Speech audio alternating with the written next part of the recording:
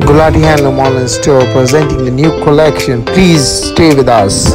And guys, do follow us on Instagram.